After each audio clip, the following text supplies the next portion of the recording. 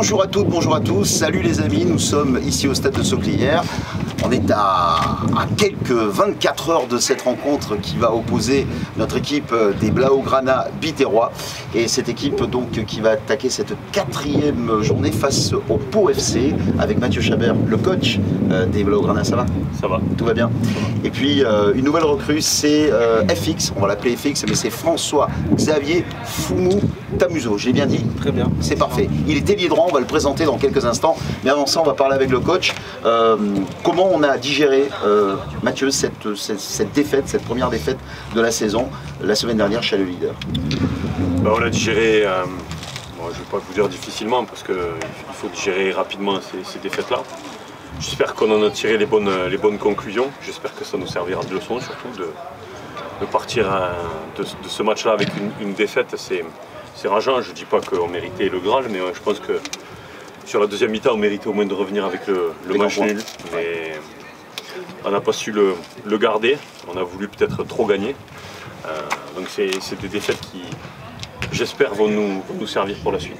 Alors pour faire un petit peu une, analyse, qu'est-ce qui t'a plu, qu'est-ce qui t'a pas plu dans cette rencontre?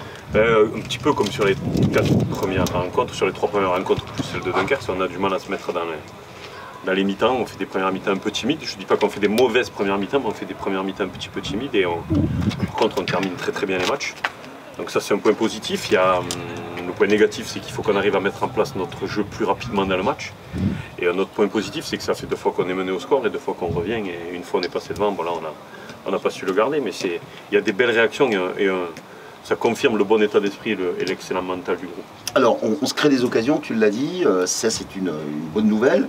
Euh, Kevin Testu est sur des bonnes statistiques, puisque là il est, bien parti pour, pour, la saison, déjà deux buts depuis le, début de ce, championnat.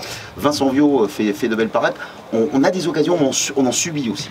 C'est peut-être des choses qu'il va falloir euh, peut-être gommer dans les, il, Il ne faut pas oublier qu'on a renouvelé l'effectif à plus de 80-85% et pour bien assimiler tous les principes défensif et toute, l'animation offensive, il faut un petit peu de temps. On est en train de le, rattraper, mais je ne dis pas qu'on demande de l'indulgence, mais il faut, il faut du temps, ça va venir au, fur et à mesure des matchs, mais c'est les victoires qui vont amener cette confiance et nous permettre de stabiliser tout ça.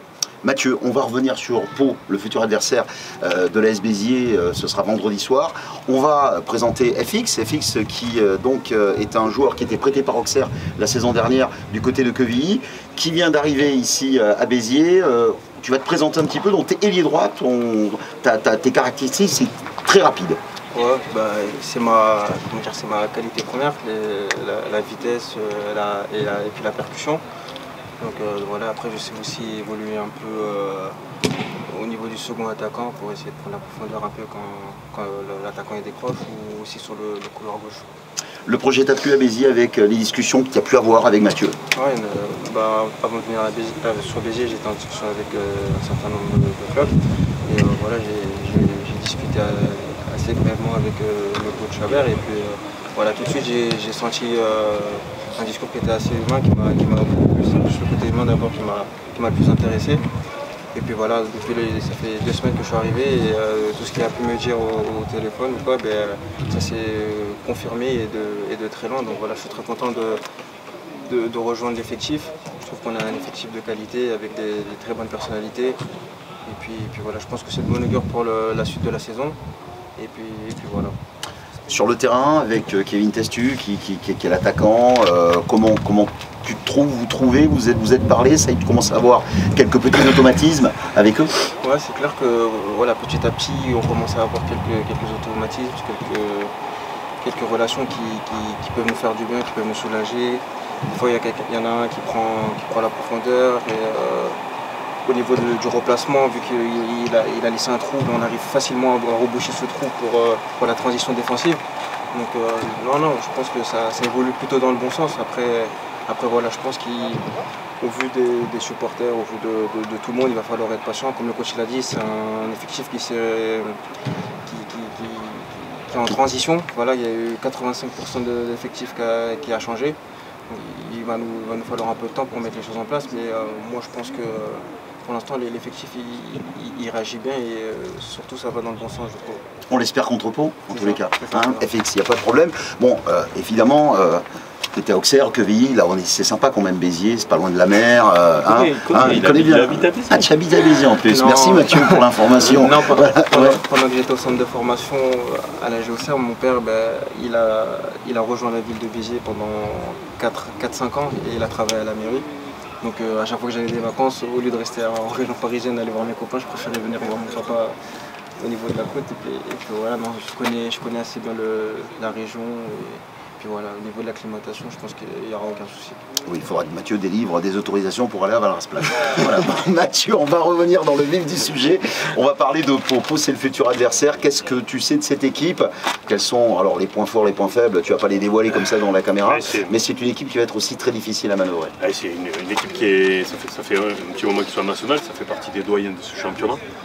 C'est une équipe qui euh, a été menée contre Cholet et qui est revenue à égalité, qui a été menée contre Quevilly-Rouen et qui a su passer devant et gagner. Donc c'est une équipe qui est, très costaud mentalement, avec un- une, belle organisation. Euh, ça va être un match, on le sait, hein, on sait que tous ces matchs de, national sont compliqués. On a un statut maintenant qui est, différent de celui d'il y a deux ans. Donc à nous de l'assumer et de faire le nécessaire pour repartir de l'avant. De toute façon, il n'y a pas à, réfléchir, il faut qu'on arrive à prendre les, les trois points le plus rapidement possible et, et, et dès demain contre Pau. Pour conclure, au niveau des blessés, tu as des retours Tu as des retours pour le match de Ben, Pau on récupère Reda oui. Real, Bien sûr. euh, on perd Victor Elisalt qui a une petite douleur à l'adducteur, mais pas oublier, faut pas oublier que c'est notre euh, cinquième match du mois d'août et qu'on finira le mois d'août à sept matchs. Donc ça un gros mois d'août, là on attaque encore une semaine à trois matchs avec la réception de J'allais t'en parler, oui, effectivement, il y a un déplacement. Ça, c'est voilà, il faut, il faut gérer les, les- les états de forme de chacun. Les- tout le monde veut jouer, bien sûr, mais c'est à nous. tu, et tu vas faire tourner justement avec Ouais, l'histoire de fait- je j'aime pas appeler ça faire tourner parce que moi je veux gagner les C'est trois le mot à matchs. la mode, hein. Bon, c'est Voilà, je, je veux gagner les trois matchs qui arrivent. Bien sûr. Mais le premier c'est celui de Pau. Mais euh, contre, contre euh, un coupe de la Ligue, on aura le temps d'y revenir. Mais j'essaye de mettre un. On- a envie cette année d'instaurer pas une rotation parce que et de pour impliquer tout le monde et que tout le monde soit impliqué dans, la- dans le projet qu'on veut mettre en place, eh bien, peut-être que ça tournera un petit peu plus souvent que ce qui c'était les années précédentes. Parce que tout d'abord, on a des joueurs de très très bonne qualité, donc euh, et, ça, et, ça, et ça- et ça permet, par exemple, et ça permet de garder tout le monde, tout le monde concerné. Et c'est très très important parce que si on fait une grande saison, on la fera pas à 11, on la fera à 25 ou 26. Et c'est souvent comme ça dans le, dans le foot moderne, dans le sport de haut niveau. C'est tout un groupe qui, permet, façon à atteindre les objectifs. Ce sera le dernier match ici à Soplière, puisque à partir du mois de septembre, ce sera contre Laval. Le premier match va se jouer au stade Raoul Barrière, qui est tout beau, tout neuf, avec une nouvelle pelouse. Donc euh, on espère que face à Pau, il y aura la victoire. On compte sur vous, à, à toi Mathieu, sur le banc, pour le coaching, pour faire ton équipe. Et puis FX, bienvenue à Béziers. Ou bon retour à Béziers. Donc mais cette fois-ci, c'est pour jouer au football. Et puis on, on te souhaite de marquer des buts, de délivrer de belles passes, de, de bons, de bons centres, de mettre, d'enrhumer tous les arrières, bien sûr, des défenses adverses. Voilà, c'était l'avant-match de cette quatrième journée de National qui va opposer l'AS Béziers Football à 20h face au FC Pau. Ce sera le vendredi 23 août. Soyez nombreux pour encourager les Blaugrana Biterrois à les Béziers.